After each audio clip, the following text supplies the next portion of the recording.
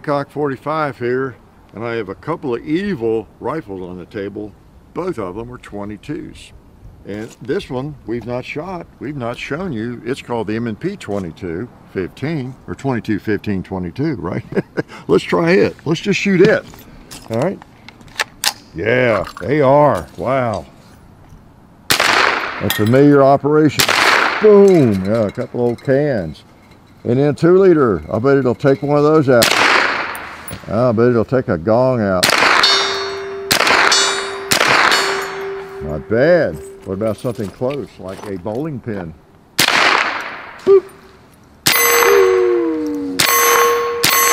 Wow, look at that group, that rifle group. Pretty nice, huh? Let's talk about this a little bit and shoot some more. You want to? Oh, it is a 22. It's not a big, bad 223, is it? Yeah, it is the M&P uh, 15, 22. And uh, yeah, we've never had one on the compound. I, I'm sorry. I'm sorry. It's been out a while, but we just never have. And I uh, thought we'd bring it. Um, yeah, I, I apologize. Will you forgive us, forgive us for not having one of these sooner? Uh, I, part of it's me. Part of it's me because uh, all of it. I uh, I have never been crazy about the the 22s that try to duplicate a larger rifle or more powerful rifle or a centerfire rifle. And even with handguns, I just never have. Uh, I'm fine with a Model 60 Marlin or just whatever. But a lot of people do like a 22. Do I need to tell you that, right? I don't know how many they've, they've sold of these. Mossberg makes one and, and other people do but a lot of people just love this and I can see why I can see why because I've been shooting at some and I've not had it malfunction that's another reason I've not I'm not drawn to uh, semi-automatic 22 rifles they they just tend to get dirty and start malfunctioning sometimes before you're ready for them to get dirty and malfunction but I'll tell you this one has not malfunctioned yet it might today on camera uh, you know I'm not sure I shot a lot of that ammo. Let me put my ears on. It's not going to blow them out or anything, but put it over there. Yeah. Let's hit a red plate. Yeah, hit that middle one. On the right. Click. Uh, what did I say? Look at that. We had a malfunction. You sort of expect that with a 22. At least I do. Got Click. Yeah. And now we're getting some malfunctions for some reason. But, uh, and I cleaned it just before we started, so, so whatever that was about. Oh, we got a case caught in there, I see. I'll get him out of there. Oh, there he went. Okay. He's not out yet. There we go. I think it caused it to continue malfunctioning. Let's see how it does here. Make sure our ammo's in there correctly. What I had been shooting were some uh, mini mags and some of these standard velocity and I shot some of these but I uh, not a lot of them make sure they're they're working okay one of the uh, takes on this gun is that it does fire a lot of different ammo types of ammo just fine. Yeah maybe not this as well. We might open up the mini mags here give them a try. How's that? Okay we'll see if it's uh, ammo or what. There's a list in the instruction booklet of ammo that works best. Mini-Mags was one, I think, and uh, several different federal brands. Uh, seems like uh, it likes more ammo, but again, this standard velocity stuff uh, is working, you know, really well too. So, so I don't know. Yeah, how 22s are. And on the not to use list, I printed it out. There were several Remington brands, the, the Golden Bullets or whatever they're called. that's no big surprise uh, Winchester Wildcat. There, there, were several brands that advised not to use. That's kind of typical of, of 22s. You just get a, uh, get a different uh, result with, uh, with various kinds of ammo, no doubt about it. But as I'm getting into this and loading this mag, uh, one of the claims, obviously, the, the claim to fame here on this, this thing is the fact that it operates so much like a, an AR-15 you know, it, and that, of course that was their intention. It was not accidental, right? and you've got the, uh, you know, the fire control. In fact, the trigger you could put in an AR trigger, a replacement. Most of the aftermarket, aftermarket triggers would fit. You know, your pistol grip here, you, you see that looks familiar, doesn't it? And uh, just the way it operates.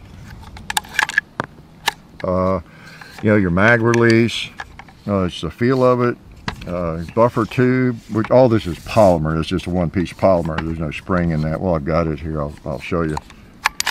Uh, yeah, take this out. Kind of stiff. There we go. So you got a solid, just a solid piece back there. But because the uh, the bolt all has all the, the recoil or buffer spring, you know, right there in it. So when you shoot, this is blowback. This blows back against that piece of polymer right there.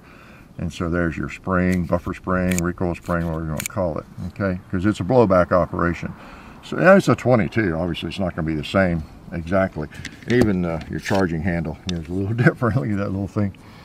So you don't have a gas tube, you know, coming back through the air or anything. So it's a little different affair too, isn't it? And then that's it. But I mean, you know, the rest of it kind of looks you know, similar there. Okay, pretty cool. Pretty cool. Really does duplicate an AR-15.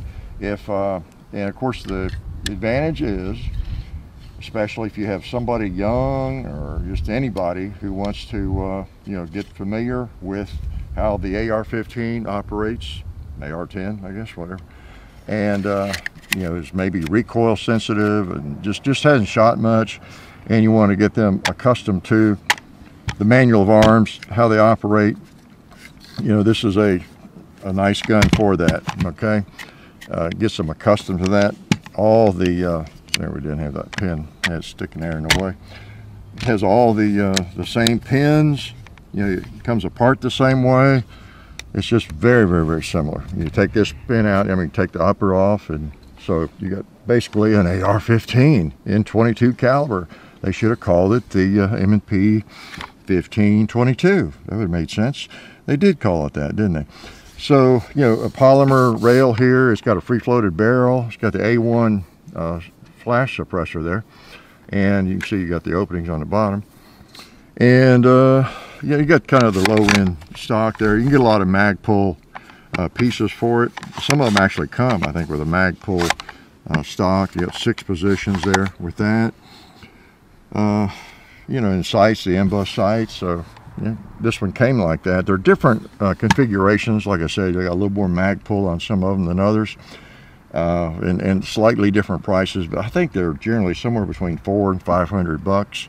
You know, in this crazy uh, apocalyptic world we're in right now, I'm not sure what the pricing is. Might be that you find one, in, but uh, so, but interesting. You know, the mag's a little different because it's not a 223 mag, right? So we'll load that. You got this handy little uh, assist button here, which is always nice on 22s, I think. 22s uh, are kind of, I don't know, when you're used to bigger bullets, they're uh, they're small to manipulate, right? And uh, you can look like a uncoordinated klutz, right? You can drop them and everything else. So uh, for training, you know, uh, all that, I can see the, the point in this more so than some other 22s. Uh, I'm not crazy about a handgun, uh, as I've discussed before. I differ from a lot of people on that. If you have a for example, know, you, carry a 1911 or you carry a Glock 19 and so you like to save money on ammo by having a, a 22 long rifle kit for your, your Glock or your 1911 and so you shoot a lot of 22 through it. And but then you carry the full caliber 45 or whatever it is 9 millimeter for defense. Uh, I'm not a big fan of that because it uh, it's just such a different, different recoil impulse. It really is. Now it doesn't hurt, maybe. I mean, it could, but I think it depends on the level of training that where where you are with your training. You're just getting started is one thing. Just like with this, this is a great way to introduce somebody to one of the most popular rifles on the planet, right? The AR-15, the modern sporting rifle. Make sure all those are loading correctly. Okay, so, sure that mag is working. Like I said, that other ammo was working okay before. But uh, anyway, 22 long rifles are famous for that. Okay, let's try this now. The cowboy. Yeah, let's go to the gong again. Pretty sweet. Oh, there's some cinder over there. I think the sights are on enough. Yeah. Do it a couple times.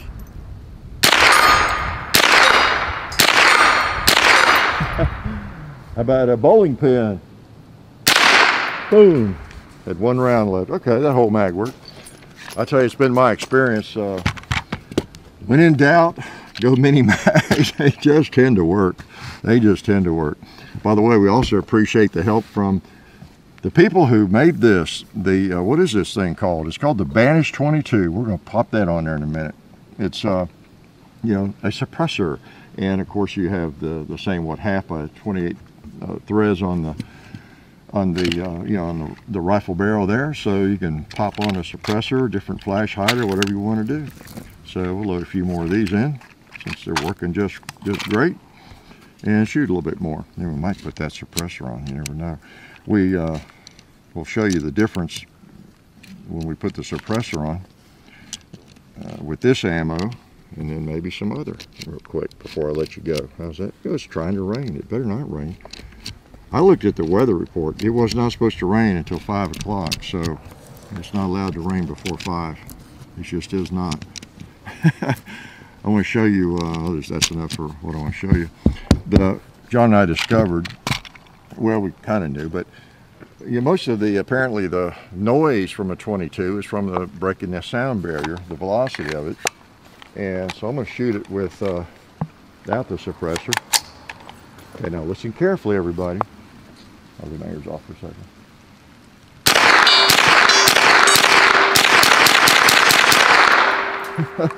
okay, I meant to leave a couple in there. I'll put a couple more in. Uh, and you'll see what we're talking about. You don't get a lot of difference change when you put a suppressor on if you've got fast ammo. Now, at least we were the other. Now, this is 1260. Oh, this should be similar. Uh, so let you all listen. Okay. All right, are we clear? You really want to be clear. There's nothing in that. So we're going to shoot this uh, same round. Now, point is here, you're not going to notice a lot of difference.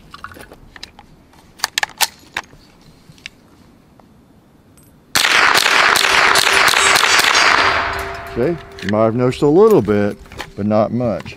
You need subsonic ammo. I'm going to prove it to you, just in case you don't believe it. Because, you know, some of you probably don't believe a lot of what I tell you, right? You've had too much experience here watching our videos, and you just know to believe half of what you hear, very little of what you see, right? Okay.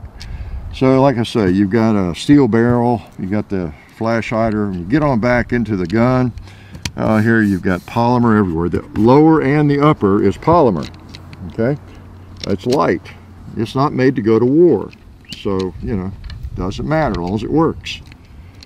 Uh, lots of polymer. The, uh, gosh, the stock, the buffer tube, just everything. That's why it's not very heavy. So, so a nice little firearm for a youngster to learn on and learn how to operate one of these. Again, the modern sporting rifle, AR-15, is uh, the most popular rifle in the country right now and has been for a good while. So, you know, it's a great way to show someone how it works. And uh, I, have seen some people with these that they've got them decked out with all kinds of red dots. I mean, you you'd think they're right out of Afghanistan, you know, with their M&P 1522. They've got they may two thousand dollars worth of stuff hanging on it. You know, it's a 22 rifle. So if you like shoot 22, you can put a lot of stuff on this thing, have some fun with it. All right, before we load it, make sure we're tight. Yep. Okay. Now you'll you'll notice a little difference. These are uh, subsonic. At least you'd better. I don't want to lie to you. See? Just like night and day. you, you just got to have subsonic ammo to get the, the most out of a suppressor. I love that. Chew on that cinder. That's funny. Let's just chew on this paper here. Even though it's subsonic, I think it'll go through that paper. Yeah, it didn't bounce off. Now, it may not be hot enough to smoke pot the way it ought to be smoked. We'll try, though. All right. Yeah. You know, you hear that little barely sound. If, if you're not, uh, you know, you don't think about it too much, you think, well, it's like nothing. It's going 100 feet per second or 50. But let's do it hit this barrel. Yeah, I mean, it's real bullets. Just because you slow them down a little bit. oh, man. I'm to hit that uh, uh, buffalo over there. Boom. Neat. Empty. So that functioned fine too. So uh, one of the things I read about it and some of the experience people were having was that it just really uh, does feed a lot of different ammo reliably. And I don't, I don't know what I was going on there because before the video, I was not having trouble with that unless I just had a round in there kind of out of kelter or something like that. But I'm gonna shoot, since we got the suppressor on there, I'll shoot a little more of this before I let you go. Okay. So what did I not tell you about it that you're dying to know? Oh, you got a beveled magwell, you know, for if you really do go to war, and need to reload in a hurry. Uh, maybe you could take an AR-15 mag and pop it in there. No, I think it's designed, it won't, I was, that was a joke, folks. You don't want to do that. Yeah, it won't take one. It's designed specifically not to, okay? you don't want to confuse it with a 5.56. But uh, it is pretty cool because it is so, so much. Uh, when you pick it up and shoot it, if you've shot an AR-15 much at all, I mean, you just feel right at home. No doubt about that. And, uh, you know, if you've seen me be a clutch with a Ruger 1022, you know, very, very popular rifle that every 10-year-old can operate, and I sometimes struggle with it in the bolt. Uh, this one, maybe it's more my style. But uh, now my, my slight disdain, I guess, for uh, shooting a ton of 22 long rifle and semi-automatic handguns or pistols to some extent. It is just the reliability factor. It's reliability. It just, it just gets so frustrating. As they get dirty, some of them, even good ones, they just start acting up. They just really do. And sometimes it, it just doesn't seem to take that many rounds. You know? It just doesn't seem fair. It makes me want to cry. My gun stock starts malfunctioning, you know? And then that's not good. Makes me look bad. Makes me look like a crybaby. I'm gonna load that fully if I can. You all mind? Because it just holds 25. I think they have a, a 10 round mag. Everybody's a 10 round mag, you know, for some states, of course, right? And I think I read there's a 30 or 35, 32 or 35 round mag too for it. So, so you have options there. Uh, didn't I didn't get an extra you know it's just the mag came with it salt comes with it by the way again this is from budsgunshop.com these go back as as you all know of course we had a lot of new people you know they uh, we send them back and they auction them off on their e-gunner as used guns and I sign a certificate saying this is the gun we shot that you're seeing here today I put the target in there with it the paper target and all that and 10% uh, of whatever it sells for goes to uh, uh, uh, food bank, Middle Tennessee, Second Harvest. Okay. None of it to us, just goes to the food bank.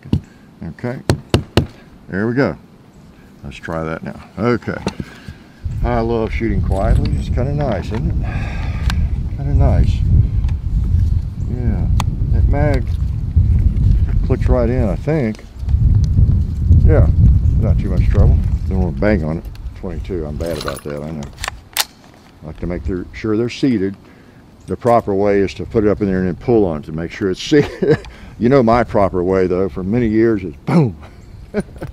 okay, what should I shoot with these last rounds? I know it. I'm gonna hit one of these arms on this tree and slam it around. Watch it get slamming around there. Yeah, that's lame. Gotta have a round in the chamber. Maybe I don't have the mag in there right. Let me close it. By the way, you know, you got the same bolt release over here and everything. That's pretty cool. So I'll put that in there. I thought that last round didn't feel right. Let me uh, mess with that. I may have put one too many in or something. I lost my pocket knife. Had to dig out a different one, but I've got it. Yeah, different model of it. Uh, yeah, that didn't uh, didn't feel right. Felt like I was putting in too many rounds or something. Okay, I might have might have done like John, try to get that extra round in we don't need. Okay, just put the bolt back, bolt is back, and we know we're in. Okay, this is real time, okay, real time clutch. All right, we should edit all that out, make ourselves look brilliant. All right, let's shoot one over there. I got him. Boy, those sights are right on, and I haven't moved them a bit. They're right on. Ooh, almost knocked over the pig. All right, let's shoot something that won't make a sound. Y'all give us a hard time. All right, gosh, these are fun. That little can. Okay, let's uh, let's shoot the paper again, so we won't have steel ringing. I just hear the action of the firearm. Let's go back to gone.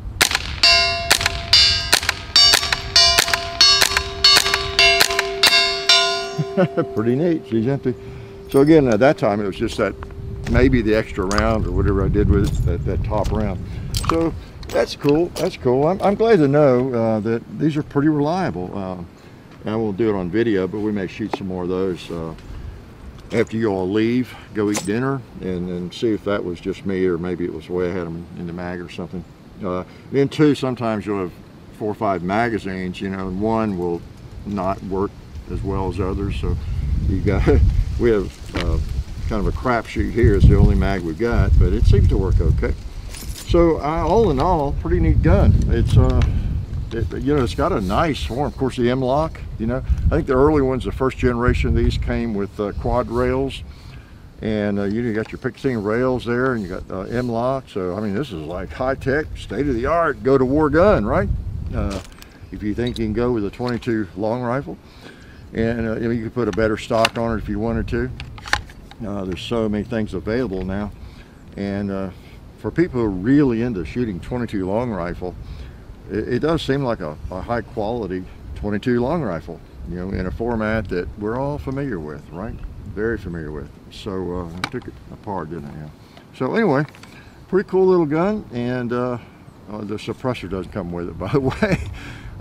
But you do have a flash hider and uh, appreciate y'all coming by and everybody that supports us man. Everybody that helps us out with ammo got a suppressor for it and uh, can shoot that so it's just just really cool so the M&P 1522 and you know what that means so glad you came by and uh, spend a little time with us life is good uh, tired it's a long walk from where I had to shoot that Oh man. Oh hey, didn't see you guys there. Since you're here, I want to let you know about our friends over at Talon Grips and Ballistol. TalonGunGrips.com. Check out everything they have over there. You can get lots of different grips, the stick-on grip textures for your handguns and rifle grips. So go check them out. Also Ballistol. They're a firearms lubricant or anything else you might need lubricating. Uh, it's water soluble and non-toxic. Been using it on the compound and cleaning all of our guns. It's a cleaner and a lube for over 10 years. So Ballistol, Talon Grips, definitely check both of those companies out.